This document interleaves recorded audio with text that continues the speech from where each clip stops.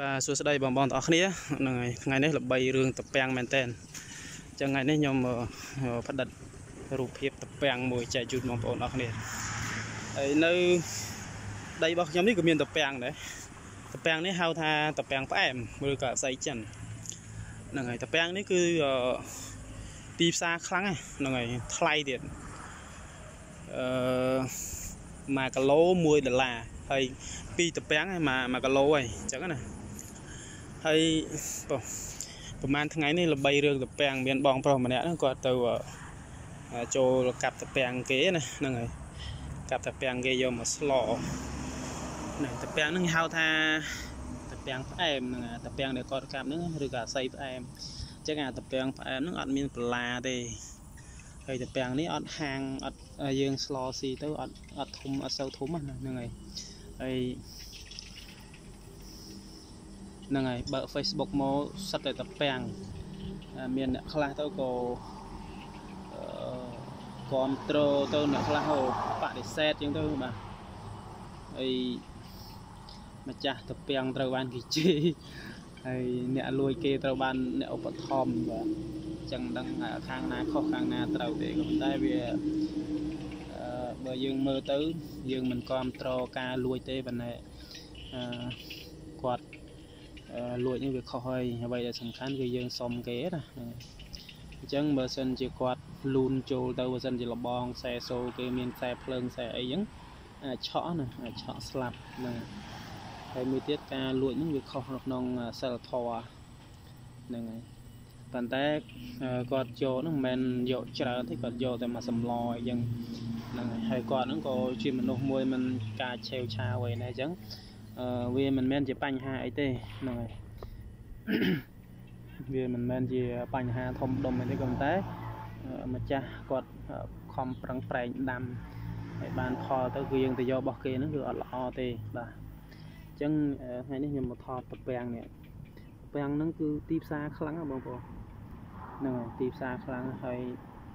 យើងគិតមើលនៅស្រុកខ្មែរយើងមានអ្នកដាំតពាំងច្រើនហ្នឹងហើយអញ្ចឹងតពាំងនេះយើងនិយាយមួយម៉ាត់ថាចំណូលអកម្មដែរណាហ្នឹងហើយចំណូលអកម្មយ៉ាងម៉េចធម្មតាយើងទៅធ្វើការឲ្យគេយើងធ្វើការ24ម៉ោងគឺយើងលក់កម្លាំងឲ្យគេមែនអត់អញ្ចឹងយើងបានកម្រៃមួយខែមួយខែហ្នឹងហើយអញ្ចឹងនឹងហៅថា passive active income ក៏ប៉ុន្តែបើសិនយើងមានចការតពាំងមួយហាត់ឬក៏ពីរហាត់ឬក៏3ហាត់ឬក៏5ហាត់អញ្ចឹងយើងដាំហ្នឹងហើយយើងដាំ អាស័យអញ្ចឹងទៅ នៅពេលដែលវាផ្លែវាមើមហ្នឹងហើយវាចេញតពាំងយើងកាប់លក់អញ្ចឹងអានេះគឺអត់សូវប្រើជីទេនឹងអត់សូវប្រើជីទេ ហើយម្យ៉ាងទៀតអឺវាបានរហូតតកូនតចៅណានេះហ្នឹងហើយអញ្ចឹងលើកទឹកចិត្តឲ្យបងប្អូនទាំងអស់គ្នាដែលមានដីទំនេរអាចដាំត្រពាំងបើមិនបានលក់ក៏ក្រន់ទុកហូបដែរហ្នឹងហើយអញ្ចឹងត្រពាំង វាជាចំណូលវិលជុំណាខែណាក៏វាវាមានអាត្រពាំងនឹងដែរអញ្ចឹងយើងលក់ផងយើងទុកហូបផងអញ្ចឹងណាហ្នឹងហើយប៉ុន្តែកុំទុកដើមច្រើនតាពាំងហ្នឹងយើងទុកតែ3ដើមបានហើយភពហ្នឹងយើងកាប់ចោលវាអស់ទៅបាទហើយអាតាពាំងហ្នឹងអត់រើសដីទេដីអីក៏ដាំល្អដែរហ្នឹងហើយអីគោលការណ៍របស់ខ្ញុំខ្ញុំចង់ដាំតាពាំងបានមហាត់ដែរហ្នឹងហើយដាំតាពាំងហើយនឹងដាក់ដួងបាន 3 4ហាត់ហ្នឹងហើយ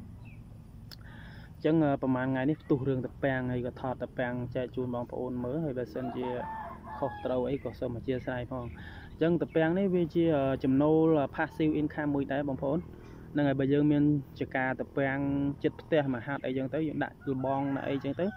ហ្នឹងហើយអញ្ចឹងយើងយើងគិតមើលថា1គីឡូ1ដុល្លារណាចុះបើយើងមួយថ្ងៃយើងលក់បាន100គីឡូហ្នឹងហើយបាទយើងថា1គីឡូ1ដុល្លារអឺ ហើយពីតពាំង1គីឡូចុះបើសិនជាយើងលក់បាន200គីឡូ300គីឡូ500គីឡូ1000គីឡូ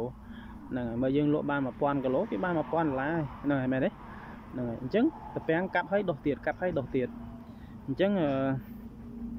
តពាំងគឺជាចំណូលអកម្មមានន័យថាយើងដាំតែដំបូងទេយើងចំណាយពេលដាំតែមួយឆ្នាំកន្លះទៅ2ឆ្នាំទេអញ្ចឹងគឺយើងបានផលរហូតបាទបានផលរហូត យើងយើងកាប់តពាំងហ្នឹងទៅបោះឲ្យគេទៅយើងបានចំណូលហើយ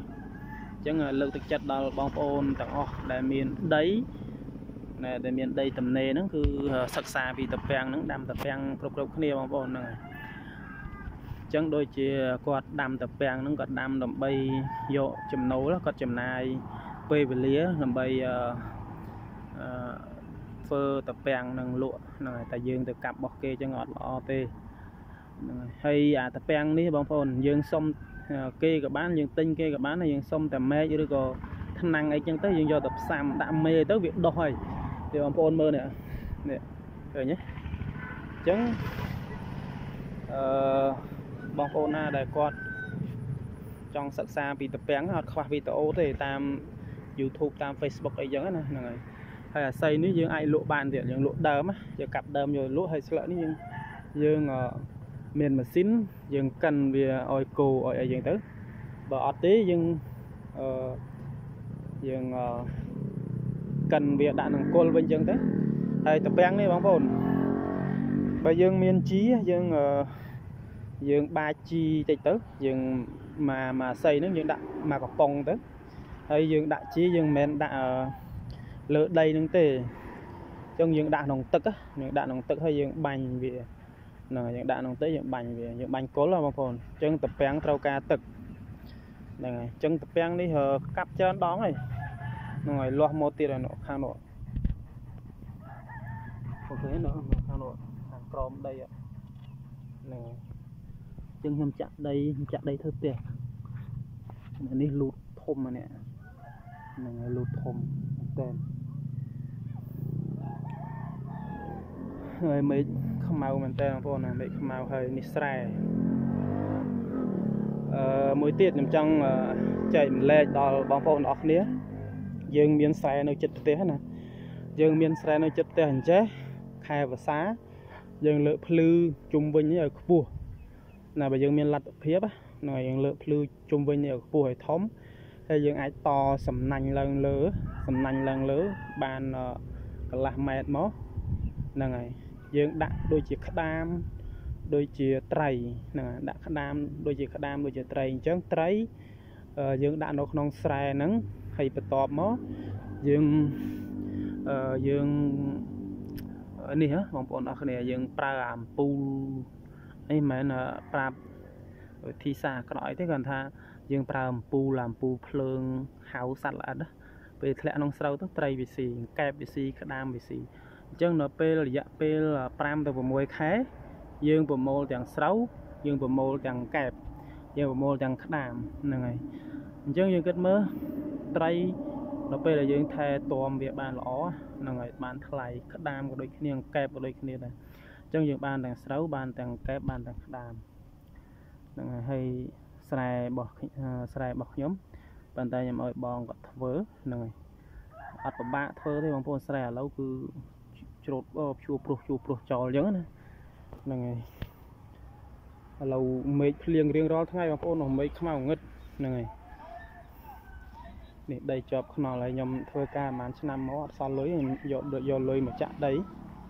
ណាចាក់ដីសម្រាប់ធ្វើភូមិធ្វើផ្ទះ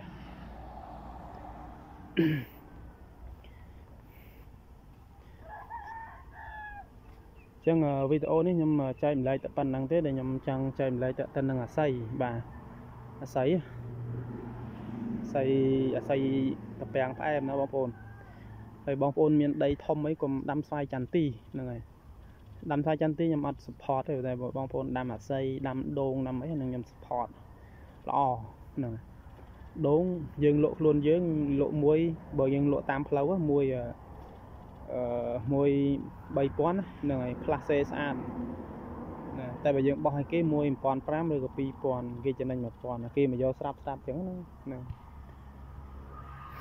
ណានេះខ្ញុំក្រងធ្វើផ្ទះដីក្បាល15បណ្ដោយ40ម៉ែត្រជាងចឹងវីដេអូនេះមានតែប៉ុណ្្នឹងទេណាអរគុណច្រើនបងប្អូនកុំភ្លេចជួយ Subscribe Channel ខ្ញុំម្នាក់មួយផងហ្នឹងហើយ អរគុណខ្ញុំសម្រាប់តាមដានទស្សនាវីដេអូខ្ញុំនឹងផ្តិតនៅវីដេអូផ្សេងផ្សេងចែកម្លែកជូនបងប្អូនអរគ្នាបានទស្សនាអរគុណច្រើន